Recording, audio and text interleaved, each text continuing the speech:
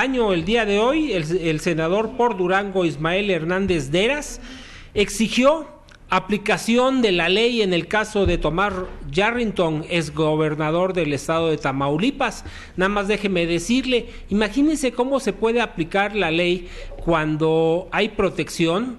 Eh, a Tomás Yarrington se le asignó como exgobernador eh, en total ocho escoltas pagados por el gobierno estatal y que hasta la fecha eh, venían brindando los mismos servicios, a pesar de que en el año 2012 ya se había solicitado una ficha de localización del exgobernador. ¿Cómo es posible que el gobierno mexicano, en este caso el federal, la PGR, no supiera dónde está el exgobernador cuando el mismo gobierno mexicano le está pagando a los escoltas? Francisco Montaño, tú tienes los detalles desde el Senado de la República.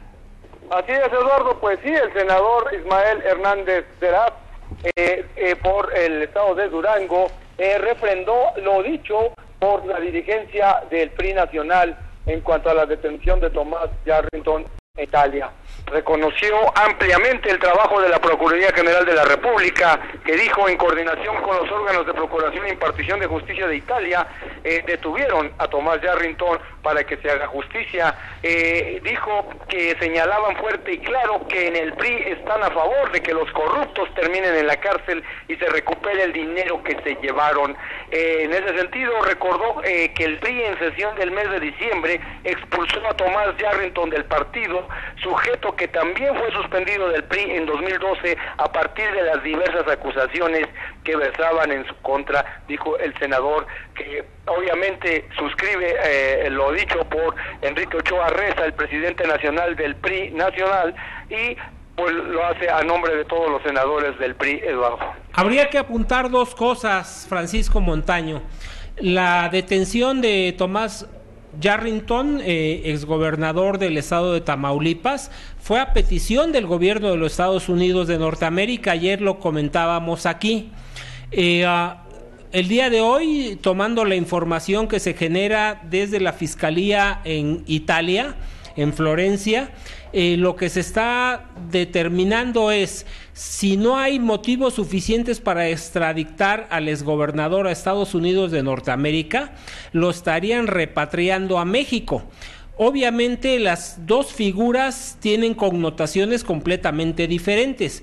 La repatriación se da en el caso de que no sea admitido en Estados Unidos y no viene con una orden judicial de aprehensión.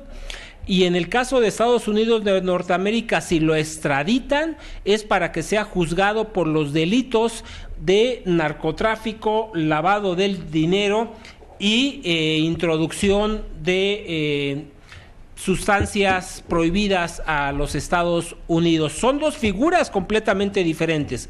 La Procuraduría General de la República no ha dicho esta boca es mía o en su caso de que haya eh, intervenido en el proceso de la detención del exgobernador.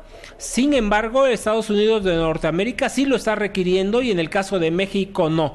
¿Cuáles son las observaciones que hacen los senadores allá en el Senado de la República, Francisco Montaño? Pues hasta ahorita lo que ellos están diciendo en general, tanto PRI como PRD y PAN, pues es de que es una buena acción de la justicia mexicana, pero también apuntan que esto es por cuestiones electorales que se está difundiendo tanto. De alguna manera la PGR fue la que acreditó el, haber logrado que se detuviera Tomás Yarrington. Sin embargo, lo que están diciendo, bueno, pues es que esperan que también este, se cumpla con la ley y que no precisamente se le deje eh, al garete toda esta eh, situación que puede, como ya sabemos, dejar en libertad en un momento dado por alguna falta de precisión en el caso de México, Eduardo. Bueno, pues ojalá que eh, se actúe conforme a derecho por ese lado, Francisco Montaño. Oye, estuviste en el Estado de México el día de hoy, ahí en eh, un mitin de Alfredo del Mazo, ¿no? Precisamente por eso estuvimos aquí entrevistando al senador eh, Hernández Veraz, porque él es el delegado del CEN del PRI en el Estado de México y pues hoy acompañó aquí al, candidato eh, Alfredo del Mazo que estuvo en esa, en tres puntos, ahorita estamos en el último punto ya, estuvo en la mañana en Los Reyes La Paz. Y bueno, pues aquí pues precisamente los priistas pues parecía como si no pasara nada, porque yo los veo muy tranquilos y las reacciones pues están más que nada por el lado de la oposición. Bueno, pues ahí está la información. Te agradezco mucho, Francisco Montaño. Estamos pendientes, Eduardo.